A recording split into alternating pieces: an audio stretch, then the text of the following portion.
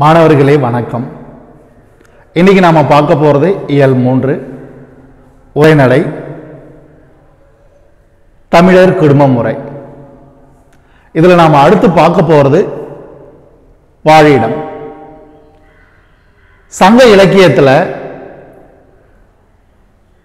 வாழ்கின்ற இடத்திற்கு நிறைய சொற்களை பயன்படுத்தி இருக்கிறாங்க.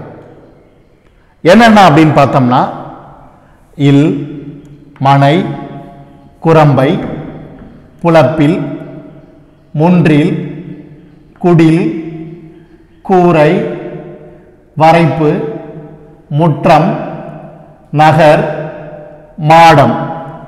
முதலிய சொற்கள் குடும்பங்களின் வாழ்விடங்களில் உள்ள வேறுபாடுகளை சுட்டுகின்றன.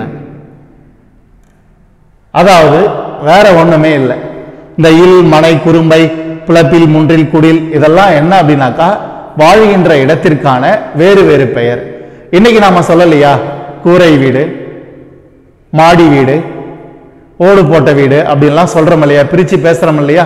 அது மாதிரி அன்றைய காலகட்டங்களில் வாழ்கின்ற இடத்திற்கு வேறு வேறு பெயர் வைத்திருக்கிறாங்க. அகனா நூற்றுல மருதத்திணை பாடல் ஒன்றுல ஒரு மகளிர் ஒரு பெண்.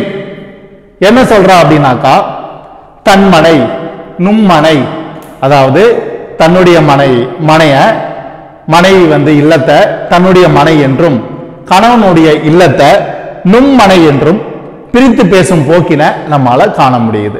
எதுல பாக்குறோம் இது அப்படின்னாக்கா அகனா நூற்றுல மருதத்திணை பாடல்ல முன்னூற்றி நாற்பத்தி ஆறாவது பாடல்ல இது இடம்பெற்றிருக்கு. இன்னும் சில இடங்கள்ல தற்காலிகமாக தங்கும் இடம். தற்காலிகமாக தங்கும் இடத்தை புக்கில் என்று அழைக்கப்படுகிறது. தற்காலிகமாக தங்கும் இடத்தை புக்கில் என்று அழைக்கப்படுகிறது. இது எங்க இடம்பெற்றிருக்குது அப்படின்னாக்கா புறநானூறு இருநூத்தி இருபத்தி ஓராவது பாடல்ல இது சொல்லப்பட்டிருக்கு. பிறகு திருமணத்திற்கு பின் கணவனும் மனைவியும் பெற்றோரிடமிருந்து பிரிந்து தனியாக வாழ்கின்ற இடம் இருக்கு இல்லையா? அது தன்மனை என்று வழங்கப்பட்டுள்ளன. இது முக்கியமான கொஸ்டின் அதாவது புக்கில் தன்மனை இரண்டிற்கும் உள்ள வேறுபாடு யாதுன்னு கேட்பாங்க. புக்கில் அப்படின்னாக்கா தற்காலிகமாக தங்கும் இடத்தை தான் புக்கில் அப்படின்னு சொல்றாங்க. தன்மனை என்பது திருமணத்திற்கு பின் கணவனும் மனைவியும் பெற்றோரிடமிருந்து பிரிந்து தனியாக வாழும் இடத்தை தான் தன்மனை என்று அழைக்கப்படுகிறது. அடுத்தது இந்த மனை என்ற சொல் சங்க இலக்கியங்கள்ல வெவ்வேறு சொற்களாக பயன்படுத்தப்படுகிறது.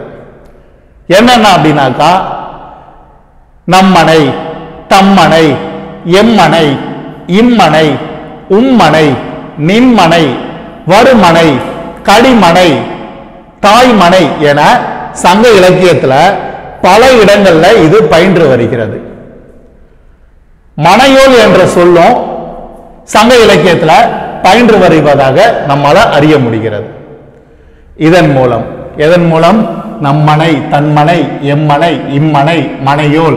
இதிலிருந்து என்ன தெரிய வருது அப்படின்னாக்கா மனை என்பது வாழிடத்தை குறிக்கக்கூடிய சொல்லாகவும் முதன்மை சொல்லாக இருப்பதையும் நம்மால அறிய முடிகிறது. அடுத்த தலைப்பு மணந்தகம் மணந்தகம்னா என்ன அப்படின்னாக்கா மனம் புரிந்த மனம் புரிந்தனாக்கா திருமணம் புரிந்த. கணவனும் மனைவியும் சேர்ந்து இல்லற வாழ்வில் ஈடுபடக்கூடிய தொடக்க கட்டமே மணந்தகம் என்று அழைக்கப்படுகிறது. அதாவது குழந்தை முதல் குழந்தை பெறுகின்ற அந்த காலகட்டம் வரை உள்ள இருக்கு நிலை இருக்குது பத்தியா? அது வதற்கும் மனந்தகம் அப்படின்னு சொல்றாங்க. நல்லா கவனிச்சுக்கோ மனந்தகம் என்பது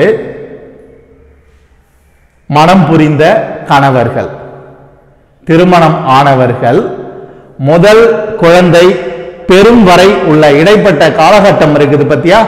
அதை தான் மனந்தகம் என்று அழைக்கப்படுகிறது. இப்படி தனி குடும்ப உருவாக்கத்தின் தொடக்க நிலையாக இந்த மணந்தகம் அமைகிறது.